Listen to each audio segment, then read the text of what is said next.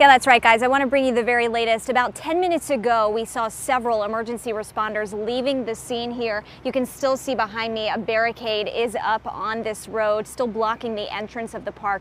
We saw those emergency responders from Winston-Salem Fire Department as well as the High Point uh, Water Rescue Squad leaving with a boat and a lot of equipment.